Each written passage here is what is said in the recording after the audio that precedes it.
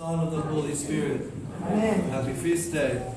Happy feast day. In the history of the monks of Syria, very old writing, the story is told of this general who one day decides that he's going hunting.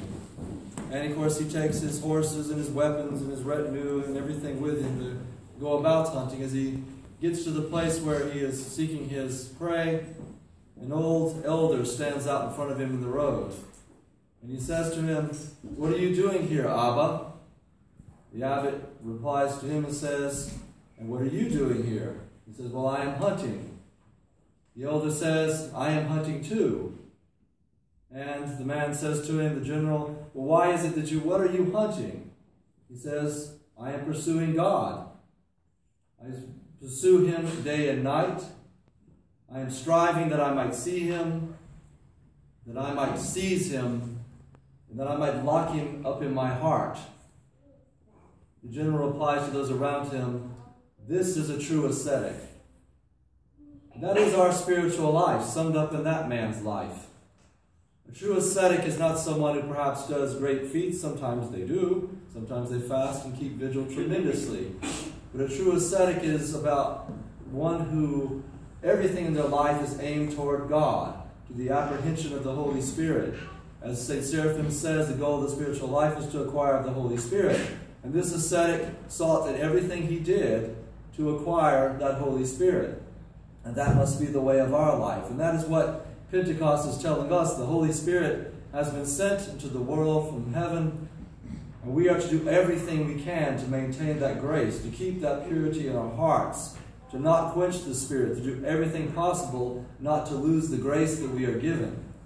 Now, of course, the Holy Fathers teach us that we are given that Holy Spirit at Holy Baptism, as we saw on Monday with Chrissy, and as the others saw with Daniel yesterday on Saturday. The Holy Spirit was given in full, and if we have eyes to see, we would see them as newborn children, but beyond newborn children, with the uncreated light shining around them of God.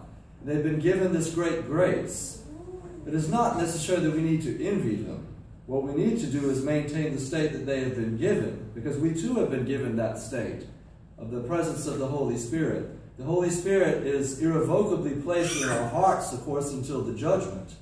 We can do great things, of course, to darken that grace and things to block it out of our minds by our, by our distractions and by our sins and by our passions. We can cover it up with great layers of mud that it becomes difficult to find the Holy Spirit anymore, even though He's deep within there, waiting waiting to reveal himself. So the purpose of our Christian life is to maintain that baptismal grace.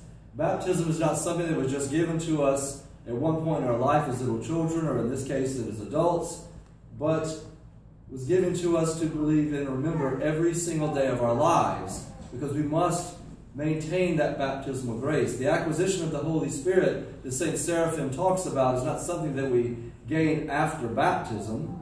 It is something that we increase after baptism, that we build up after baptism, our recognition of it. The fullness is given, but we must add fire to fire and glory to glory, and add as much spiritual gasoline as we can on that fire that it might flame up, that the world might see that it might be held under a bushel, but that the world might see Christ. Now, this day is often by people called the birthday of the church. Well, that's not right.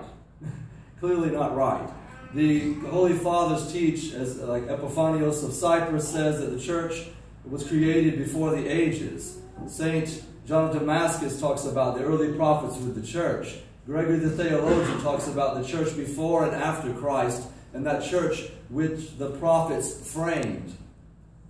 These are pretty strong voices. The, the church existed with the creation of the angels. So what is it we're seeing here? We're seeing the Holy Spirit come in his fullness Yes, he was sustaining the world before that, but he came to ordain the apostles as bishops, to give the holy mysteries to the church, to give us that fullness that we might be able to preach the word in truth, that we might be able to live the ascetic life, we might be able to live the way of the virtues, to attain the beatitudes which we had no strength for before, not the fullness of that strength. Why do we need this Holy Spirit? We hear the Lord himself saying to his apostles last week, unless I leave, the Holy Spirit will not become. Will not come. This is an amazing word. He, the pre incarnate of God, who became incarnate for our sakes, the divine Logos, the second person of the Holy Trinity, says, I have to leave that something more full might come, the fullness of the Holy Spirit, that I might send him to you. And unless I leave, you don't have that, the fullness of truth, the revelation of the Holy Spirit and the Trinity on this day that we celebrate. This is an amazing thing. In our lives, how do we see the Holy Spirit? Yes, we see it in the holy mysteries of the church, in baptism, in the Eucharist, and many others. We see it, of course, in wonder working events. We see it in the virtues. We see it when someone turns away from sin. But most clearly, we see it in the lives of the saints and all those who are pictured for us upon these walls and throughout the universe because the Holy Spirit manifests himself in the lives of God's people and the way they live. Now, as I've said many times, if you live as a saint in this day and age in particular, but throughout any age really, you'll be considered crazy because it is not the value of the world. The icon we have sitting on the altar of Saint Ephrem the Syrian says, No advantages does that offer those who love thee, O world. And that is indeed true. While the God, God created the world, while there are many beautiful things, those things have the purpose of guiding us into Christ. And only that. If they are for any other purpose that is not godly, then they are simply material and have lost their meaning. And they become a sacrilege because they've lost the presence of God. Now, St. Nikolai Velimirovich says that the difference in a saint and a neurotic is that a saint has sanctity, has sanctification. What is his point in saying that? Because anybody who tries to live the gospel is going to be called crazy. I've experienced it. Probably many of you have experienced it. From family members, from friends, from people on the street you've never seen. What is it you're doing? It doesn't have to be that strict. Why do you have to follow it that strictly? Oh, God will forgive you. But the reality is, for every idle word that comes out of your mouth, I will judge you. Take up your cross daily. He who loves father, brother, mother, sisters, wives, children, lands, houses more than me is not worthy of the kingdom of heaven. So the good things we've given in our lives, our families, all those things are good. Our houses, our wives, our children, the marriage that is about to be celebrated, these are good. But the purpose of that marriage is to guide the couple to Christ, to bring them closer to God, to bring them to salvation together. That the crowns they are given might be offered up before God in the kingdom of heaven. And then instead of standing over their heads, they might be placed on their heads and rewarded for the life they lived in the gospel. It's been a long time since I served a marriage. Obviously, I'm a monastic, so I gave that task over to Father Peter. But as I always told people, it is the same life. The monastery life is being saved within a family, a family of brothers or sisters, as it may be. The marital life is being saved within a family, with a husband or a wife and children, denying yourself before each other, just like in a monastery, praying together, just like in a monastery, keeping the fast together just like in a monastery. The difference is the celibacy, and maybe the intensity, and maybe the, the hours you have for the prayer with less distractions, honestly. The, the monastic life has many advantages, but the marital life does too. A love that is different than in the monastic life, but both of them should be aiming us to the love of God. So these saints that we have emulating, these so-called neurotics around the wall, and God willing, one day I will be called a neurotic. I know I am now, but that's because I'm neurotic, not because I'm a saint. There's a very big difference. So what we need to do is emulate these people. It is not good enough to say, well, we didn't do that way up north, Father. We didn't do that way in Russia, Father. We didn't do that way in Greece, Father. We didn't do that way in my parish. I don't see those other people doing those things you're telling me to do.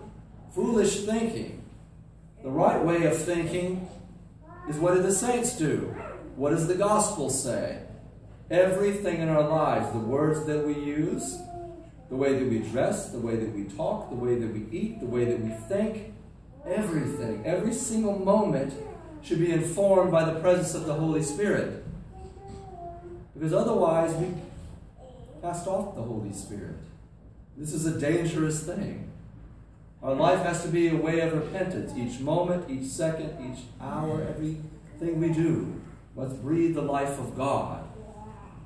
So that the Holy Spirit today fill your hearts We talk about the Pentecostal movement, the Pentecostal church. This is the Pentecostal movement. This is the Pentecostal church. The real Pentecostal church is here with the presence of the Holy Spirit, with the sobriety that comes from that presence of God, that humbling presence of God. And by receiving that Holy Spirit, we can go forth and do everything the people on the walls did because they don't have gifts we don't have. We just haven't attained to them. We don't grasp them. We don't reach out and make them ours by denying ourselves and taking up our cross and following the gospel with each moment of our lives. But it's not because we can't, because the fullness of the strength was given to us in our holy baptisms and offered to us daily in our repentance. That presence is not gone from us. If you don't feel zeal today, that doesn't mean you can't by the end of this service or in the next moment. And the Holy Spirit comes when the Holy Spirit comes. It's always His gift. But we make our hearts ready for Him. So I say, Come, Holy Spirit. Come upon all of us. Come upon me. Come upon each of you. Come upon the about to be wedded couple this afternoon and fill their lives up with your presence and their family up with your presence and bring them into the kingdom of heaven and maybe with them, bring me kingdom of heaven, grasping onto their feet because they're certainly better than I. May God bless us with this feast of Pentecost. Encourage us and strengthen us from today, from this millisecond, to become saints. Because he calls us all to be saints. Now let us attain it. Amen.